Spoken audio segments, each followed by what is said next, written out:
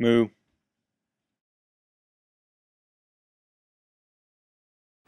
Hi, today we're going to do a video tour of the Arcade Classic After Burner.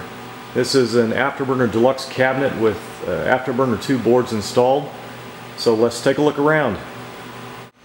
Now this is a large, heavy game with a lot of different parts, so we'll move around and talk about what we see. From the back you have the lighted marquee. As we move around the side you can see into the cockpit area. Now we've got a throttle control next to the seat,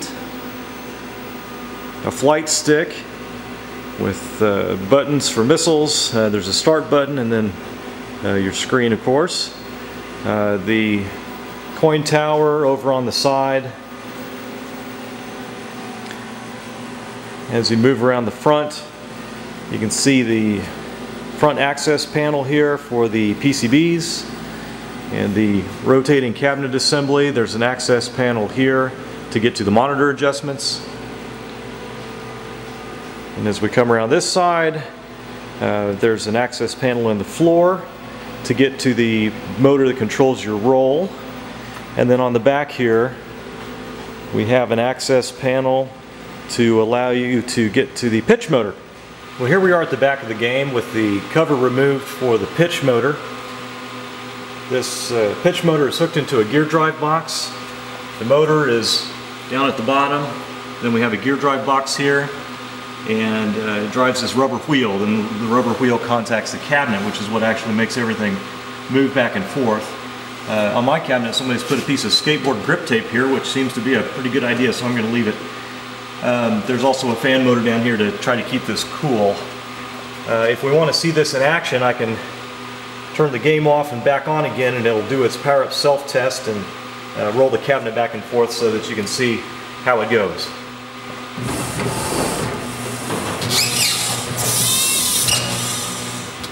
Now here we're inside the coin tower. Here's your coin mechs over here. Uh, the bottom has a uh, bucket to pull out for your quarters. Underneath that is a, a coin counter. Um, I've got an empty slot in mine, but there's space for two coin counters. And then here you have all of your game controls. There's a volume switch, uh, there's a test switch, a service switch, and the demagnetizer switch, which is a degauss for the screen. Uh, the test switch and the service switch, one adds credits and the other one is uh, puts you into test mode for the game. So here we are in front of the game. This is the PCB cage the PCBs inside of this. Obviously there's a filter board on the top and then uh, here's all the wiring that goes to the various other parts of the cabinets, the speakers and the motors. Next to the PCB we have a uh, power supply. Pan over this way and you can see that we also have uh, this board here is the drive board and back here we have the board with all the SCRs that actually run the giant motors. This is the uh, sound amplifier. We've got a DC to DC converter, a couple of uh, gigantic transformers, and then fuse block and uh, some more uh, circuit breakers down over there. This is the access panel in the front of the uh, cabinet. There's a similar mechanism in the side. This is how the uh, board gets its feedback on the movement of the cabinet. There's a sector gear here that hooks to a uh, just a spur gear that's hooked to a potentiometer. So as the cabinet rotates, this moves back and forth, moves the potentiometer and gives feedback to the cabinet to tell it where it's at. There's also a limit switch on either side to keep it from going too far. Um, the one of these for the pitch motor is actually in the post on the side of the game.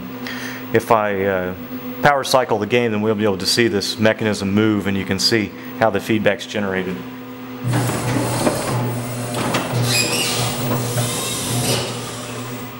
We're looking here under the floorboard access panel at the roll motor. Uh, the roll motor has a mechanism very similar to what you saw on the pitch motor. You just can't see it here, but there's a, a rubber wheel that runs this back and forth.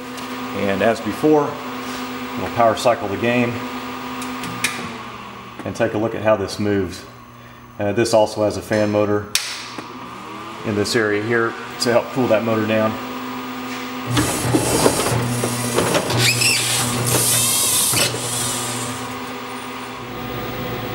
This is the cockpit part of the cockpit After Burner, the, the best part of it.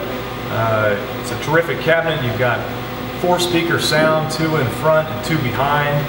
There are uh, warning lights up here to tell you when someone's locked on. Of course, you've got the flight stick with your missile button and Vulcan cannons. You've got a start button for the game. There's a throttle, uh, which was added with uh, After Burner 2. And uh, underneath, you've even got a, a spot here to plug in your headphones if you brought them with you to the arcade. When I was restoring this game last year, I had the flight stick assembly out, and I took that opportunity to record a little bit of footage. Now this is kind of like an iceberg, I guess, because what you see here is really only a very small part of this gigantic mechanism that hangs off the back of this thing. Maybe a little bit overkill, but this is uh, what does all the business back here. So you can see when you're actually adjusting the pitch, you're moving this entire assembly back and forth. And on this side over here, you would have a potentiometer right there that is uh, run by that uh, sector gear that's uh, providing the pitch input. As far as roll goes, this entire stick in the middle is on some bearings and rotates, and you can see it moving that potentiometer right there to provide the roll input.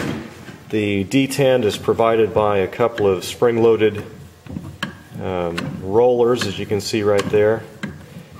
And as far as the pitch detent, I don't know if you can see it in here, but uh, when you go up, it's just gravity to go back down, and then when you go down, it's uh, moving a couple of springs in there that provide the uh, provide the detent. Well, that's a short tour of the After Burner Deluxe arcade cabinet. I think all that's left now is to play a game.